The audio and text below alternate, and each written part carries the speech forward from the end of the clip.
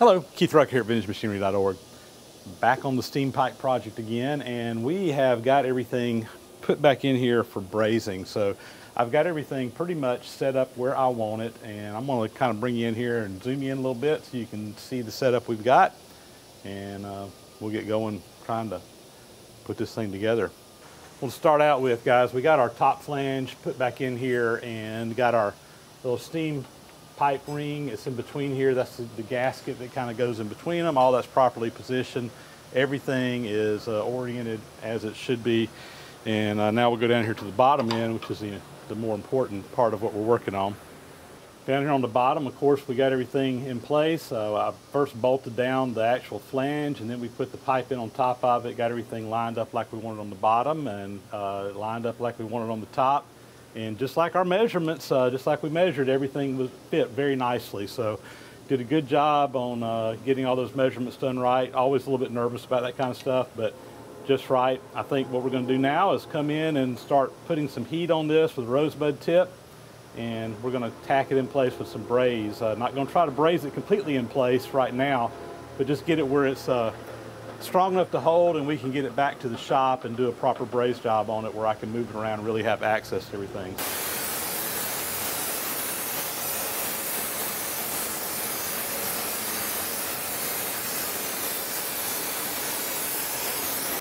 We've been uh, soaking this heat in here for a while now and I've got, I feel pretty good. I've switched over to a brazing tip and uh, we're gonna continue on um, and start trying to braze in. Like I said, we're just gonna tack it in place.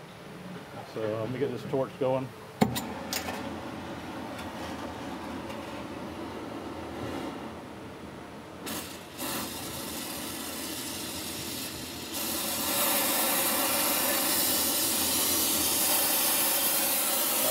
Start in the back. Probably not gonna be able to see me do everything, but uh, I'm gonna get the hardest part done first.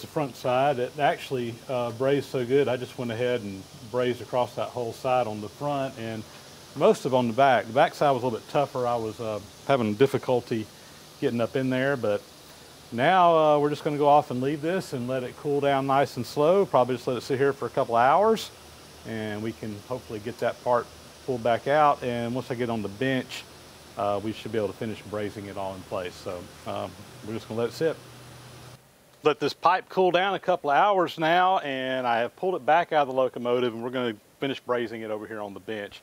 Now I went ahead and, and brazed solid across the front side. I'm kind of wishing I had just gone ahead and done it while it was in the train. It was a little bit awkward to get back behind there, but this is, I'm having to mount it kind of up in the vise just to get a good surface in there, but I think we can do it. So anyway, we're gonna go in here. I'm gonna have to soak this with heat again and then come in here and braze it and I'm gonna have to reposition it in several different places to get all the different areas around this completely brazed up and sealed up. Um, and that's what we're gonna work on now. So I'm gonna probably skip the, the rosebud action and we'll bring you in here and show you some more brazing in a bit. All right, we got a good bit of heat soaked into this part, so I've switched over to uh, brazing tip and we're gonna continue to focus some heat in here till we get up the temperature and finish uh, brazing that across. Starting to see a little color down in there. I like for my brazing to be just kind of a, a little bit of a cherry red color in the metal.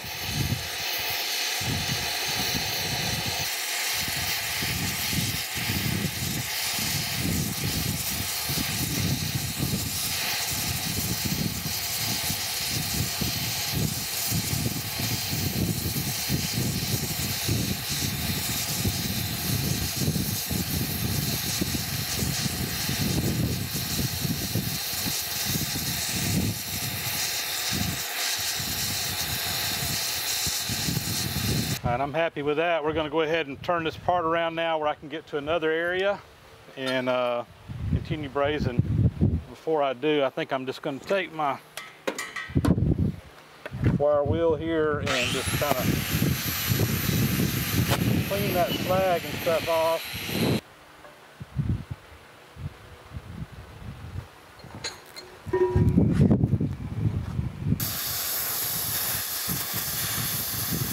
Right, continuing on.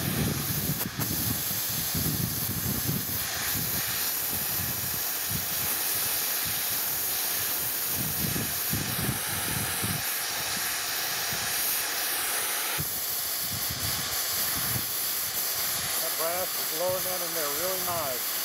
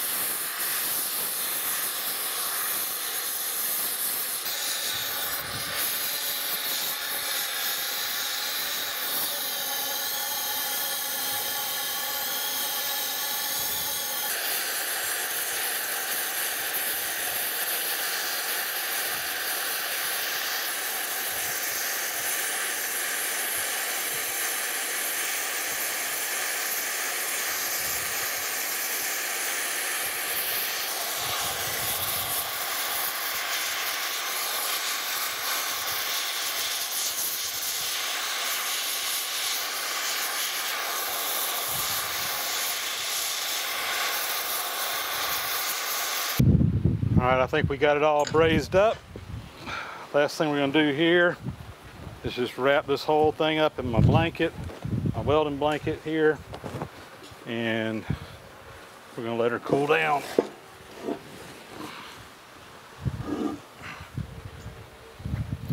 All right, I think that'll be fine right there. We're just gonna go off and let that sit. Uh, probably wait till tomorrow to come back out here and do anything with it. Well, guys, I think we're about through now with our steam pipe project. I've got all this thing brazed up. Uh, after we brazed it up, we wrapped it up in that blanket. Like I said, we let it cool down nice and slow overnight. I went back the next day and got it. And I did do a little bit of grinding around here just to kind of clean some things up. Uh, there was some braze because we, we had to turn this thing. It had kind of dripped down some of the sides and it just, uh, the actual braze joints that I did look, looked really nice, but when you had all that dripping going on over there, it looked kind of ratty in some places. So I, I just went ahead and cleaned it up with the grinder. Uh, I left the stuff on the sides pretty much like they were. Uh, also got inside this uh, like we had done out in the video. I don't know if, we, if, you, if you saw that or not, but I actually brazed the inside of this uh, ring. I had done some weld prep on both ends to kind of leave a gap in there. That was really difficult to get down in there with the brazing rod and the torch. The, the torch was kind of pushing the braze in when I was really kind of needing it to be pushing in from the other direction. Uh, but I was successful in getting that gap brazed up on the inside as well, which I think is going to add to the strength, but also that'll be kind of fill in that gap where there's not a place for trash or there shouldn't be any trash coming through here, but steam, moisture, whatever getting in there and hopefully seal it up a little bit better.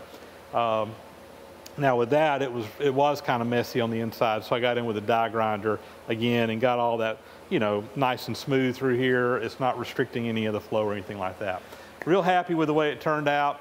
Um, and anyway, it's, it's pretty much ready to go back into the locomotive right now. The other thing that I went ahead and did while we had it out was I went ahead and made a new set of uh, steam pipe rings.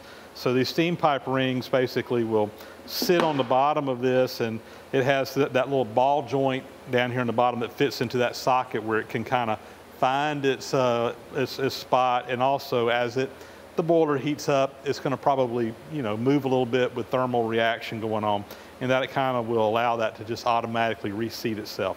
So I made these out of bronze.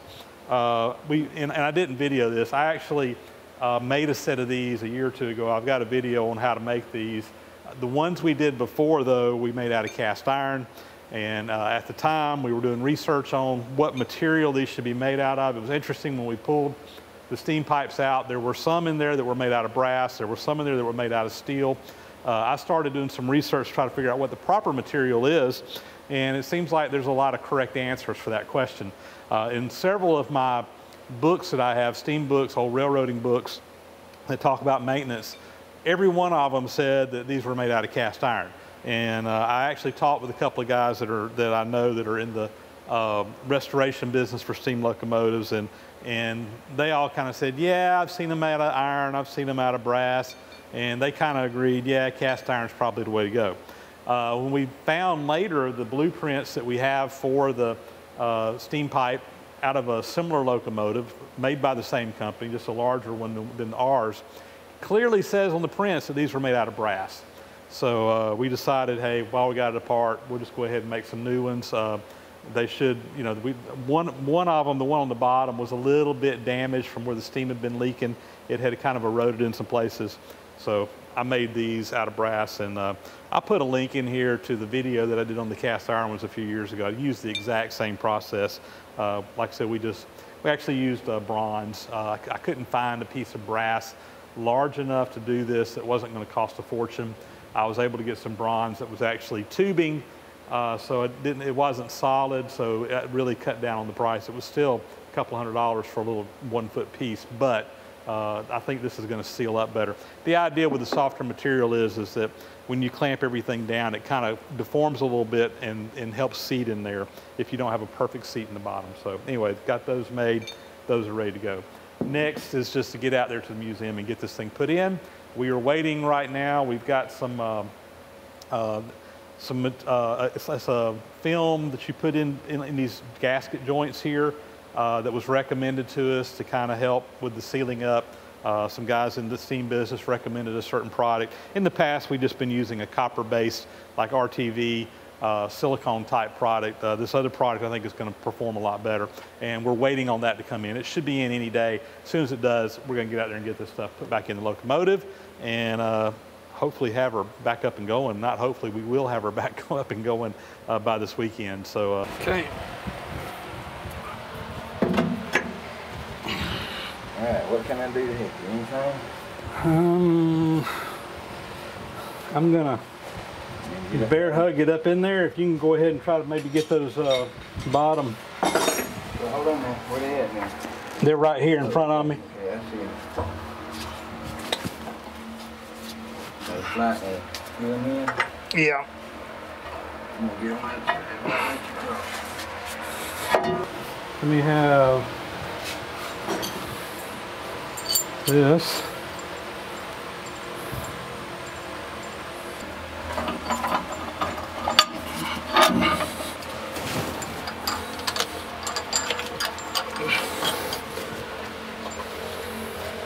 That should just, One of them sticks.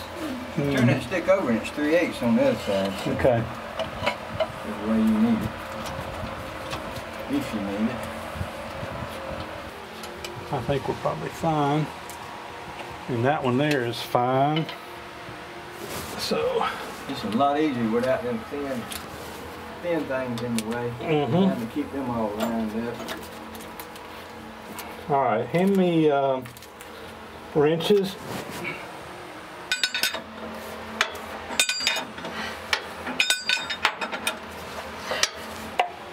Yeah, everybody's hollering, don't forget to put the anti-seize on there. Well, we almost did, but we got you covered. The graphite fell to the bottom and the, what's the other stuff? Petrolatum. Looks like it's on the top.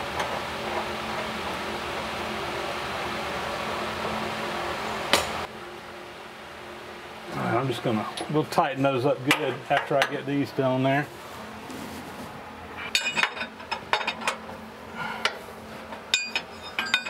Let's see if I can turn that over. Maybe I can get around that piece down here. Yeah, get a little longer stroke.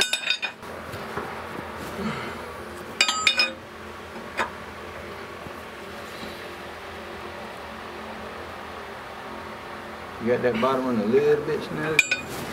Yeah. So guys, I think we got this thing all buttoned up and ready to go back together, or it is back together. I will comment that the, the sealant that we put on this is a product called uh, Copaltite, C-O-P-A-L-T-I-T-E, Copaltite, Copaltite.